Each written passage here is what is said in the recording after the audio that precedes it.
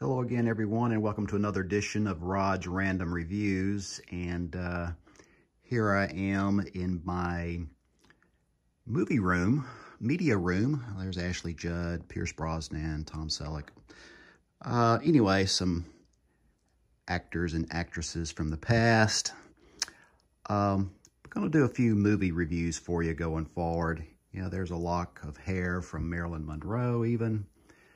You might not guess I'm a Marilyn Monroe fan. But anyway, I'm also, my wife and I are big James Bond fans. This was at a James Bond convention, uh, I don't know, several years ago where we had all of the autographs from um, all of the Bonds at the time anyway. But um, going to talk a little bit about a movie here in a second. But I did want to pretty much let you know that a little bit of a movie buff here. So in the media room, we do kind of have one of these old-fashioned uh, uh, TV setups here, but uh, a lot of DVDs, needless to say, I don't know, a few hundred maybe. Um, and then we're going to talk about the rhythm section in a second, but uh, more on that in a minute. Um, but this is, uh, I don't know, 60-inch Samsung high def but the movie I want to talk about today, since I am a James Bond fan and an MI6 fan, is the rhythm section. And um, the rhythm section, uh, some of you may think, well, is this a good movie? Not a good movie? Whatever. I really enjoyed it. Being an MI6 fan, being a James Bond fan, I really loved the movie. It's as a matter of fact, the James Bond producers are the ones who actually uh, made the rhythm section. So it has Blake Lively, obviously. Jude Law is in it. And both of these people do a really good job in this movie. So is it an A plus, uh, Golden Globe and all that? I'm going to say no. But if you like mysteries, if you like, uh, not necessarily mysteries, but suspense, if you like the um, MI6 intelligence world, the James Bond type, uh, I think it's a, it's a good movie to watch. So basically, the premise is uh, her parents are killed in a plane crash, and uh, I think a sister.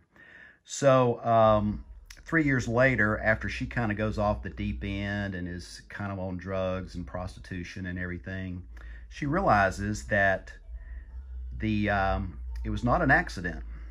And she finds a few clues. I won't go into very much specifics there, but she finds a few clues. And uh, it leads her to Jude Law, who's kind of a runaway MI6 uh, agent in uh, remote Scotland. So she goes to Scotland and uh, links up with Jude Law, the MI6 guy, and, and starts connecting the dots. And of course, she wants to go find uh, the people who killed her parents and her siblings. Uh, so she knows nothing about uh, self-defense. She knows nothing about being an assassin, that sort of thing. But uh, it's Blake Lively, right? She can do anything.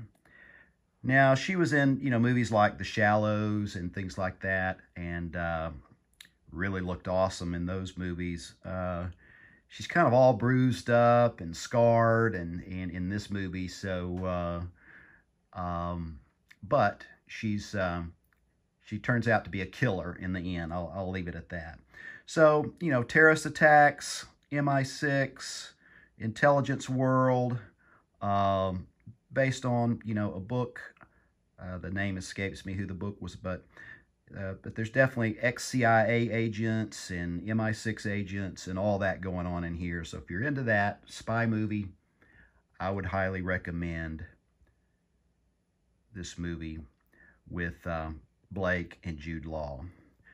So the rhythm section, she kind of does things in rhythm. She has to um, uh, pull the trigger in rhythm when she learns how to use a, um, uh, a gun and things like that. So rhythm comes into play off and on throughout the movie. It's kind of a little bit of a stretch on why they called it that, but but that was it. So thanks for watching Rod's Random Reviews. This was on uh, Amazon Prime. And uh, who knows, I might do a few more movie reviews as we go along that, uh, that I really like that's kind of off the beaten path maybe. Take care, thumbs up, subscribe. You might see something you like. Bye now.